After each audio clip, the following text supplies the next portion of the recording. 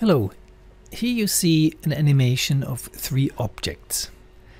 And the interesting thing about it is that when I pick the prism, for example, and I move it to the left, the helix follows, sort of. But it doesn't follow exactly. Uh, its position is an average between the position of the helix and the pipe. So if I move the prism down, all the way down, it always keeps in the middle between those two objects.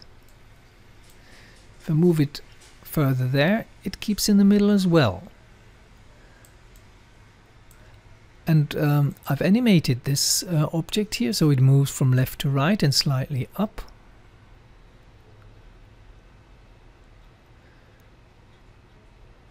And you see that um, the helix rotates a little bit. It rotates exactly the way the prism rotates.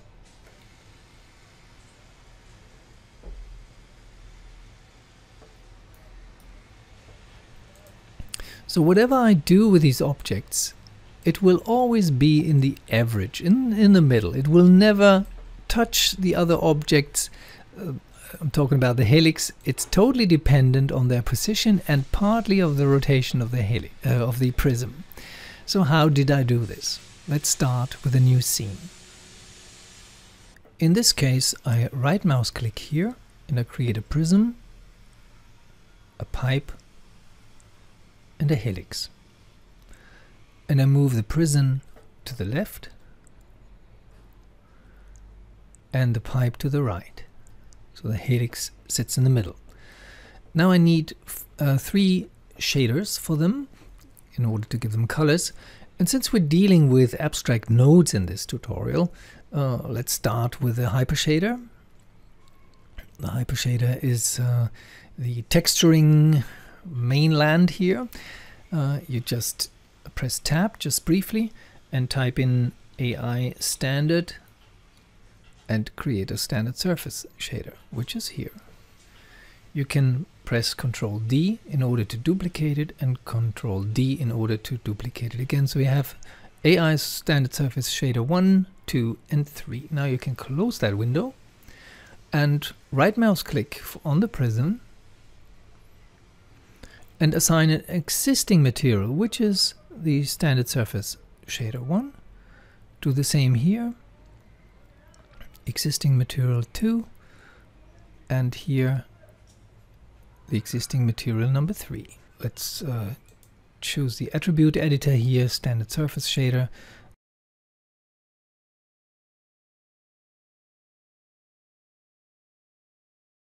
Now let's select them all go to Windows and Node Editor.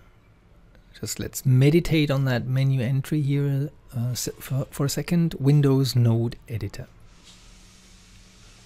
This is the node editor. It shows us an abstract representation of the selected parts of our scene. The polyhelix, the polyprism and the polypipe. Now we need to briefly talk about these things. For example, we have here p-pipe shape and here we have p-pipe what's the difference um, let's go to the well let's go to the to the pipe here select the pipe. Here you have the p-pipe one. It contains the transform attributes. That's the information we'll use later and the rotate information. That's in the p-pipe that one. Whereas in the p-pipe shape we have tessellation attributes which have to do with the rendering. And in the poly pipe which is not p-pipe, it's poly pipe we have the factory which makes that pipe, which makes that object, the radius, for example, general things, not about position or uh, rotation or scaling, but about basic, the making of this object. So we want to deal with a translation, which is here. And uh, the translation is in the p-pipe, p-prism, and p-helix. Ready? okay, we want the prism and the pipe control the helix. So let's move the prism and the pipe, that's the P prism, not the P shape, whatever, uh, to the left, and the P helix to the right. So we need something in here which creates an average of the position, which is called translation in computer animation, uh, and feeds that average value into the polyhelix. So the helix will always be in the middle between the two of them. Well, we need to open this by double clicking it two times and now we see the sections here. And right here we have the translation.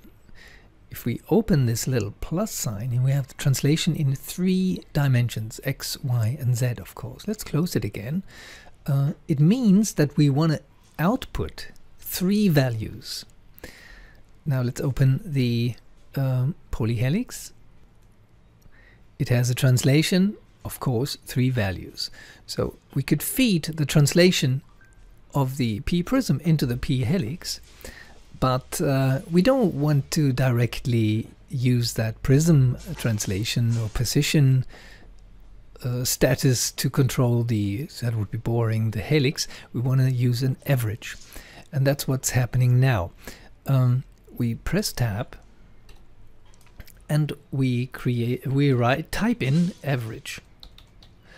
And you see a plus minus average here as it's a suggestion and we pick it. It sits here. Let's open that one. It has on the left side three input possibilities. Let's call it possibilities. Uh, either you can input several values in one dimension, meaning numbers like 5 or 6.4, etc. This would be for two-dimensional ve vectors. For example, well, I don't know currently a, a nice example, and this is for three-dimensional values, and the translation values are three-dimensional. So uh, let's open this, and the plus minus average wants an input for uh, with a 3D value, meaning basically three values in one package. So here we have them the poly prism, the P prism, sorry, translate three parameters, go from here into the input of the plus minus average. Nothing in the scene uh, has changed. Uh, there's just an abstract node sitting somewhere there, doing nothing, just getting an input. It doesn't know what to do with it. It doesn't do anything with it currently. So let's open this one now. And here we have the translate and you've seen that we have an, a new option here to put it in here. And now we have two inputs with three-dimensional values, x, y, and z. And now we'll simply output the 3D values of the plus minus average into the translate. Go into translate of the polyhelix, of the p helix actually. And now the p helix is controlled, nothing seems to have changed, by those two. So for example, if we move that one up, the helix moves up as well. But it's not the average. Because if it was the average of the y translation, it would sort of be somewhere in the middle between the two of them. And that's the last thing we need to check here. Let's click and select the plus minus average node, minimize that window. Now plus minus average is selected here. It's none of the objects in the scene, it's that abstract node which makes the average. And the average operation is currently set to sum. So it sums up the values of these two. That's why it's so high currently. And um, if I lower it, it goes lower, etc. Uh, so it's not in the middle. That's a matter of the plus minus average. So instead of the sum, we want to have the average. If we don't want to uh, have the node uh, to have any influence at all, we just choose no operation, but we want average. And now the helix jumps into the middle between them. Now we make an animation uh, we are at the beginning of the animation.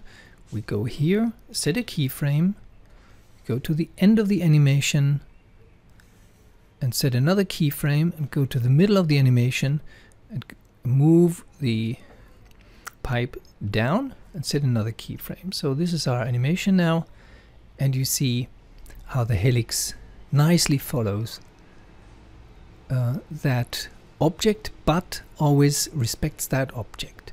And if we move that object all the way up the whole animation will be different because the helix is dependent on the two of them, not just on the yellow one. We'll do something with the prism. We want to animate the rotation.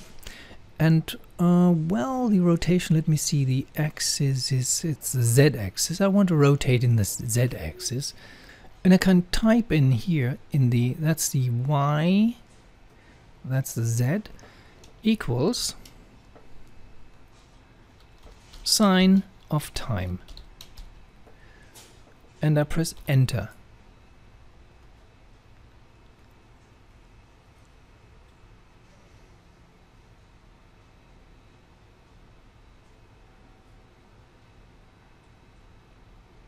So let's edit that, right mouse button, edit expression, and type in 20 times sinus of time. Edit. And let's see what's coming out of this.